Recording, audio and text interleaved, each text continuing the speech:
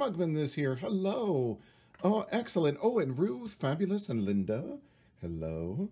I would say again, I feel like the lady from Romper Room, seeing who's here, but I absolutely love to see who's around. It's wonderful, especially, ooh, on a Sunday. Should I show you all? Oh, maybe depending on where in the world you are. Look at that. I'm here. Hello, Sandra. Uh, look, yes, if you want snow, here it is at the Janome Sewing and Learning Center in Oakville, Ontario.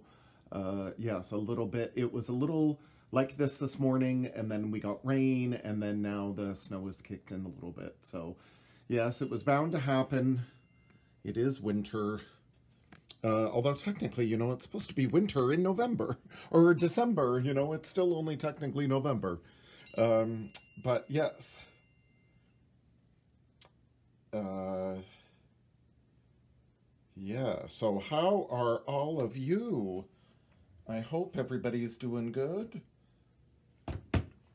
And what are you up to on a Sunday? Yes, happy Sunday, Ruth. Uh, I hope you're all staying warm and dry inside, especially on a, uh, again, a day like today where, ugh, uh, I'm personally not a big fan of the snow, so I am um, happy to be inside where it's nice and warm, so that's good. Now I'm going to have to clean off my car, of course, when I leave here uh, in several hours, but luckily I have two sewing brushes in my car, just in case. So that's a good thing. You know, it happens every year. I'm still never ready for it, but it is what it is. So you just uh, get used to winter and then again any time that I can stay inside and so uh, I'd much rather do that. so I hope you all are having a wonderful Sunday. Again, I'm here from the Janome, Janome Sewing and Learning Center and I thought again I'm here by myself so I'm busy doing some more holiday sewing. So again I thought oh I might as well jump on live and see who's around and see what other projects um, everybody else is doing. You know, I can't believe how close it is for Christmas.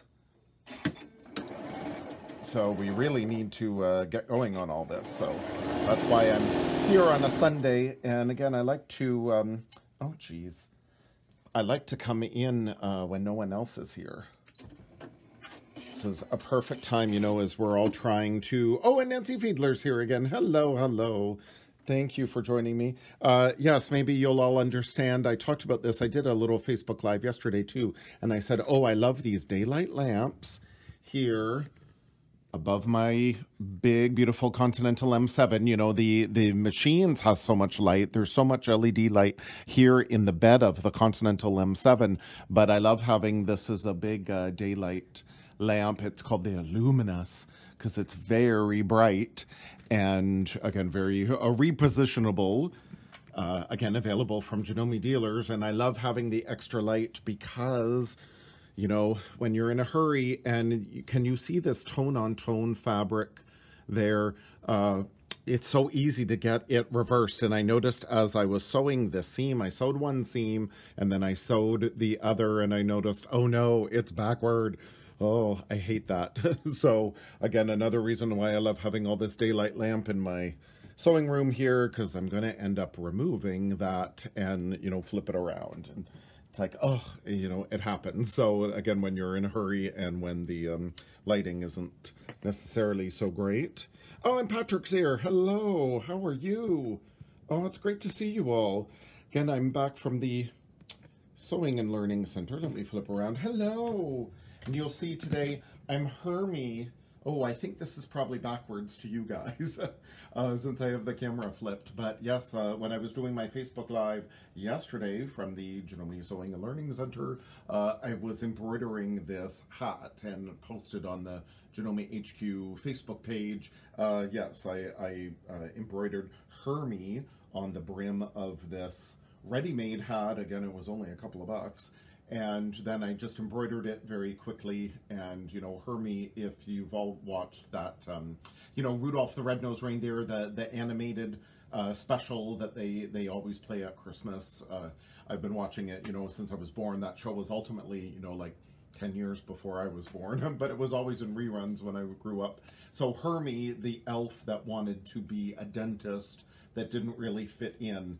Hmm, I sort of identify with that. I feel like I've never fit in anywhere. Uh, so I always felt this, you know, kinship to, to Hermie. Uh, so yes, I thought for Christmas, I'll, I'll be Hermie the elf as I'm doing all these little, um, you know, holiday projects uh, here for our Janome dinner. And then of course, oh, this is a homage to Rudolph. This is a beautiful ruby red Janome uh, red bobbin, so I thought, oh, this could, um, oh, and Mark is here, hello, uh, that I thought this would again be homage to uh, Rudolph, but these red bobbins, oh my gosh, I absolutely love them. We got, ooh, a whole case of 25. You'll see one is missing uh, since it's on my little hat here. Uh, but yeah, isn't it amazing that we've got now blue bobbins, pink bobbins, and now these gorgeous red bobbins. So uh, 25 of them. So again, you can order from your Janome dealer. Look at that lighting behind me too. I think, oh, I probably shouldn't have the camera around too much. Uh, because of all that lighting, uh, let me give you a little hmm, tour. Or I suppose while I'm here, I will say, hello everyone. Thank you for joining me from the Janome Sewing and Learning Center in Oakville, Ontario. Uh, my name is Michael Smith, the National Consumer Education Manager of Janome Canada, and I'm here at the Sewing and Learning Center doing some more of our holiday sewing that uh, for the last several weeks on Janome HQ Instagram, and then I've been doing a couple of Facebook Lives uh, that you can go back to search the um, on Janome HQ, uh, doing some holiday decorating that we're going to have for our Christmas party here. And, you know, because of the COVID and everything, uh, we are not going out to a restaurant as we normally would. We are going to be holding our staff Christmas dinner here at the office. So I've been doing all these table runners, and placemats, and I'll be doing a couple of other uh, little projects. Again, the little uh, Hermie uh, Christmas hat that I did uh, is one of those little projects. Again, a ready-made uh, hat you can embroider with your Janome machine and how quick and easy it is to customize. So there is my finished table runner. Ooh, you can see there. Uh, I was just started them yesterday. I'm doing about four because we're having several tables so I'm doing four table runners and then I'll do placemats and uh, again, a couple of other projects to tie in our color scheme uh, was this like minty green and we've uh, been finding it uh, quite challenging to find just the right shade of green. So we ultimately, whenever you can't match your fabric, again, um, try, then try not to match everything purposely.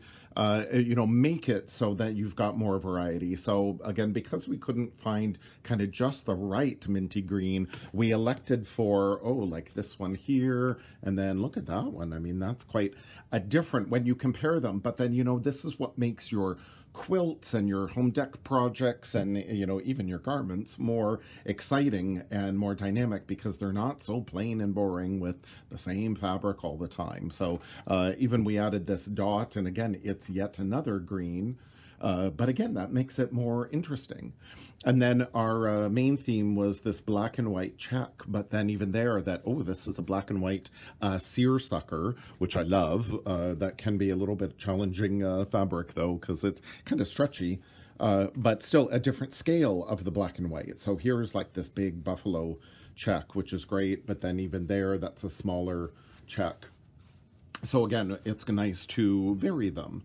And then this I loved that it looks like gold stitching. So in our color scheme, we've got black and white and uh, uh, minty green and then little accents of uh, gold. So isn't that cute? So yes, uh, let me see who else is here. Oh, and Jane, lovely. And Rose, hello. I'm seeing if our Lovely Tanya is here viewing. Uh, Tanya was going to uh, join. Uh, initially, Tanya was going to be here joining me from the Sewing and Learning Center, but again, because of that weather, she elected to stay home. Yeah, look at that. Ugh. So then, um, you know, my apartment here in Oakville is is close to the office, so I don't mind driving in this. She's a little further. So we said, okay, no, fine. Again, with technology, this is how the whole Janome staff is going to uh, come together for Christmas dinner. We're going to do it virtually. Those of us that are able to make it physically uh, will, and then those who are remotely, we're going to patch in with all this technology, and that way we can all be together but apart. Um, but yeah, here's another beautiful daylight lamp. Uh, this one is the uh, Slimline, and I love because this one, you know, clamps onto my little uh, uh, bookcase here. So then I love having this over my pressing station. So again, when you're pressing, it's nice to have some extra light. And then here's the daylight lamp. This is the floor version, floor lamp version. I love having it because I have another pressing station. My old beat up ironing board from my apartment, I brought it in today because then it's nice to have this big uh, pressing surface for the table runners there to press them all because you know they're um, they're on the bias. Uh, the triangles, the outer triangles here um, are on the bias. So it's nice to be able to lay them flat as you're then pinning on this lattice. So you're not getting any rippling of your bias. So again, that's why I brought in my big ironing board here so I could lay it all out flat and pin down my uh, sashing, or if this were your quilt, you know, these would be like your borders or your sashing for your quilt. So you want to pin them all down or clip them down so they're nice and flat so nothing is stretching. So, oh, and look at that gorgeous Janome scissor case. that is going to be uh, shown in a class I'm going to be doing um, next week. You know, I'm doing online classes from the Janome Sewing and Learning Center. So on the uh, Janome HQ Facebook page, then you can see the uh, the class list is all up uh, pinned to the top. So then you can see the um, list of classes there. Uh, let's see. So I just wanted to, again, check in with everyone and see what they are doing. Uh, what are you all up to on a Sunday, especially with a snowy Sunday? Now, Sandra, I know you're in uh, California, so I know it's not sunny uh, where, or I know it's not snowing where you are. Um, Yes. So yeah, so what's new and exciting? Uh, while I'm doing my sewing, I will just uh, unpick this at another time. but, you know, while I'm doing my sewing, I just want to give you all some tips again on some um, bias uh, cut fabric on how you will handle it all. Again, I love these Wonder Clips. Now, there's so many different varieties of clips, but I really like holding uh, all my strips together, my sashing together, so it's nice and flat. And then that way I don't have to worry about anything, you know, stretching out of shape, uh, particularly on, again, the, the bias edge of those triangles. Now, where I got the pattern is from our friends at Sew4Home. Um, if you haven't heard of Sew4Home, it is a fabulous resource. It is Sew, S-E-W, for, the number four, home, uh, so go on their website, Sew4Home, and they've got a ton of tips and tutorials about all things sewing. They use Janome machines and presser feet and everything, so it's great to get more tips and tricks on how to use all those machines and presser feet. And they have a ton of free patterns. So this is a patchwork dresser cloth with button accents, uh, I use the search box on the for Home website to search for table runners, and there's a many, many patterns that come up. This is one of them that I chose because, again, the, the patchwork here reminded me of the uh, black and white check that we have in our fabric. You know, that that's kind of patchwork. So that's what inspired me to choose this pattern. Uh, plus, it was free. and, you know, it looked very easy and, and very interesting. So they've got all the instructions here to, again, print out and follow along. Now, I'm not going to do mine with buttons because uh, again, we're going to uh, use this as a table runner. So then uh, I don't want to have, you know, any glasses of wine or anything falling over. So, uh, but yes, it makes a good pattern. And then again, you can always adapt every pattern to make it your own. Uh, it's sunny here in California, but it's a little bit cold. Oh, yes. Um, I have a feeling, Sandra, again, the, the cold weather is coming in everywhere, regardless of where you are, unless you're in the southern part of the uh, the world, which that would be lovely. Oh, and Greg is here. Hello, how are you? Oh, and Diane, hello. Oh, it's awesome to see you guys. Oh, thank you so much for joining me. Again, I'm here from the Janome Sewing and Learning Center alone, so it's always nice to have some company here. Uh, but yes, I wanted to say, as I was sewing on these, oh no, it's this strip that I need. This is the outer the outer, I've got several uh, of these table runners uh, on the go. And then, yes, on the outer edge here uh, of this uh, check, th that is a bias edge. So whenever you're sewing a bias, regardless of what it is, you definitely want to have that closer to your feed dogs. And the feed dogs are going to help ease in some of that bias and prevent it from stretching. So I have the straight grain strip on top. And then I can use, again, my clips to keep it all together.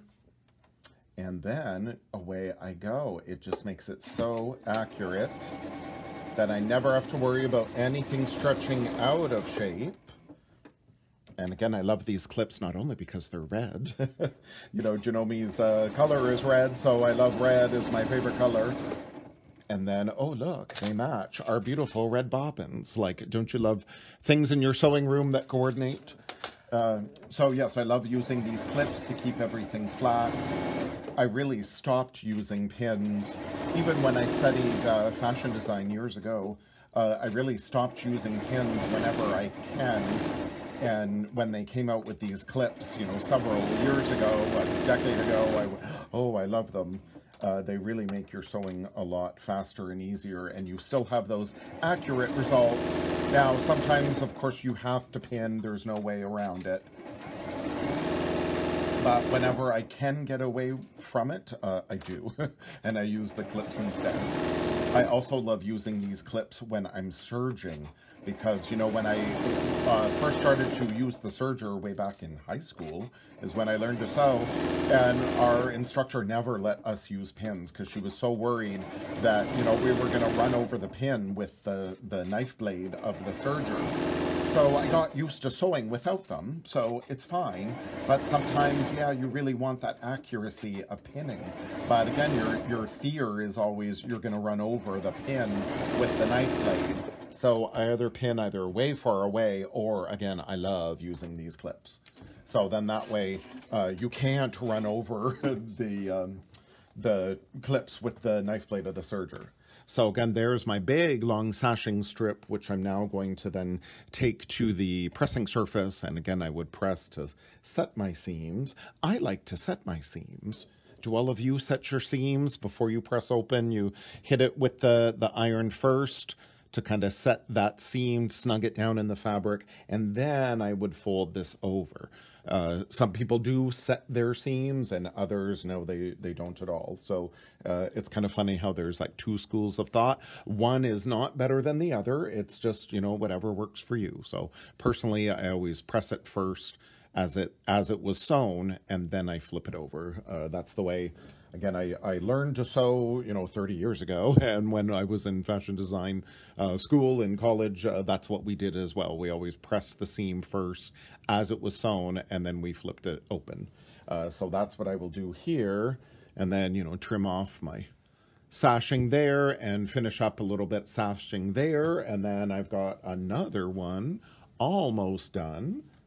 And then, you know, when I'm so excited too, last week I got a brand new Quiltmaker Pro uh, 18 inch long arm with the Pro Stitcher Premium computer. So I'm going to load these. All four table runners are going to go on the Quiltmaker Pro long arm, and I'm going to quilt them all there to get them all done uh, fast because, yes, we've got a couple of weeks till our uh, Christmas dinner. So we're really running out of time. Uh, this little sample I wanted to show you all was, you know when you've got a match as my sashing goes from here, you know, and when you're doing a quilt, if this is your sampler quilt, and you want your sashing here to match up row by row. So all I do is just lay it on top. Can you see? That way back here. So here's my, my little white sashing in between, and there's my white sashing there. So I make sure that my seams match up on either side, and I just kind of roll it down so I know it's to match. And again, I don't really pin too much, but this is again where I love these clips to hold it down into place. That also holds the seam allowance down, so then that way I don't have to worry about it flipping.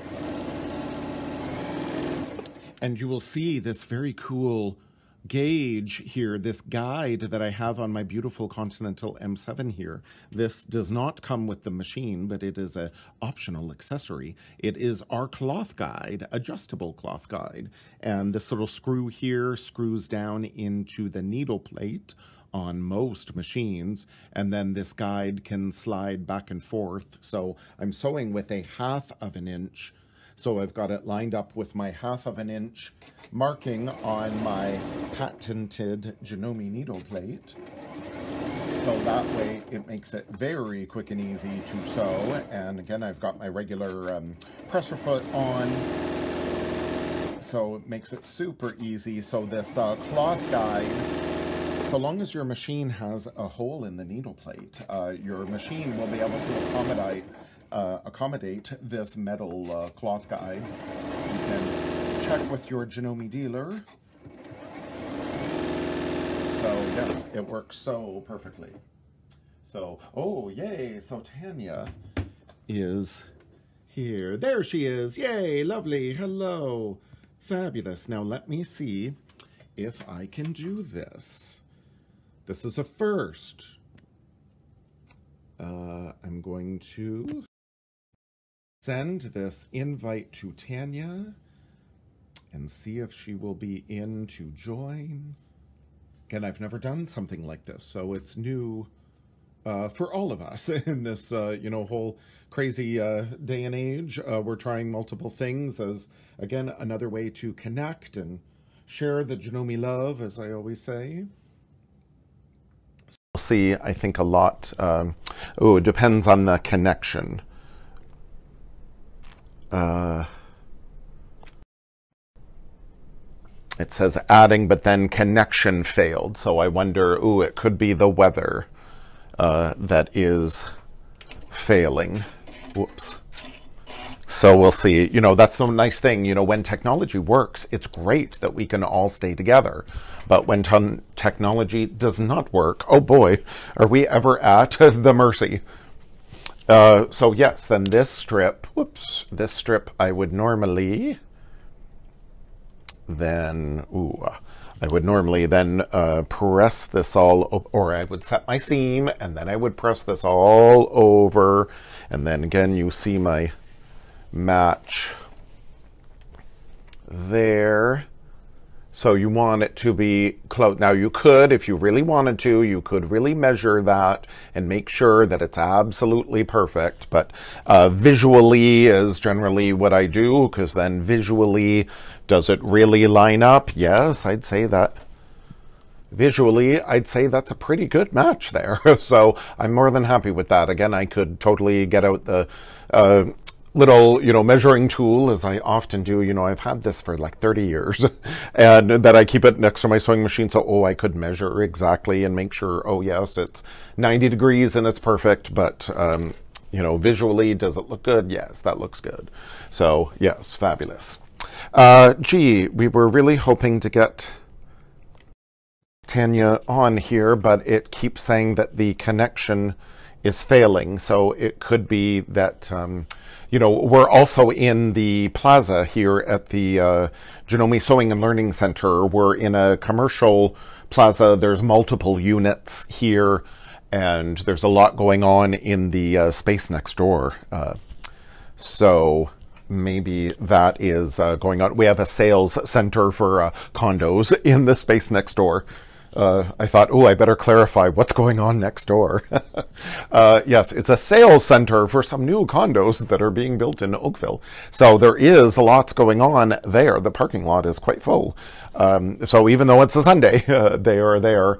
And so maybe, you know, so many people using the internet, uh, sometimes that can cause connections to fail. Or again, with the weather, with the snow, uh, that can cause uh, connections to fail. So, uh, I'll try one more time, and if not, then oh, we'll just do another uh, session where Tanya will be here uh, joining me again. Initially, she was um, going to be here in person, but because of the weather, uh, we said no, no, fine, we can connect. Um, uh, you know, uh, by technology.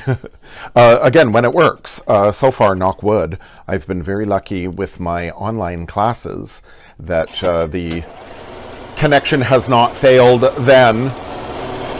And, you know, if it does at the end of the day, oh well, we'll just reschedule. And again, we'll do another Facebook Live where Tanya can join uh, if she isn't here. Um, now, this coming week, though, we've been alternating how many are in our office, though, again, because of uh, COVID restrictions. So this coming week, you know, starting tomorrow, then Tanya and I are, are in the office uh, together.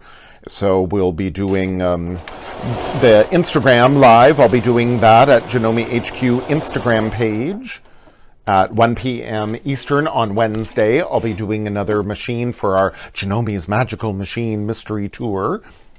And then, hmm, uh, we will be here around this. Ooh, yeah, uh, so, yes, that um, I will be doing another Janome's Magical Machine Mystery Tour on uh, Wednesday at 1 p.m. Eastern at Janome HQ Instagram page. And then again, uh, I've got, ooh, a, ooh, a big, ooh, big ruler class on uh, Tuesday that I'm doing online. So yes, that'll be definitely very busy. And then I've got another one Friday. So in between, I've got to, you know, prep for these classes, but I'm also going to be sewing uh, like mad because then I definitely need to get, you know, there's uh, the beginnings of this beautiful, uh, again, table runner, the pattern from Sew4Home. So again, I've got to finish all of these and then I want to start on some other projects. So maybe even, um,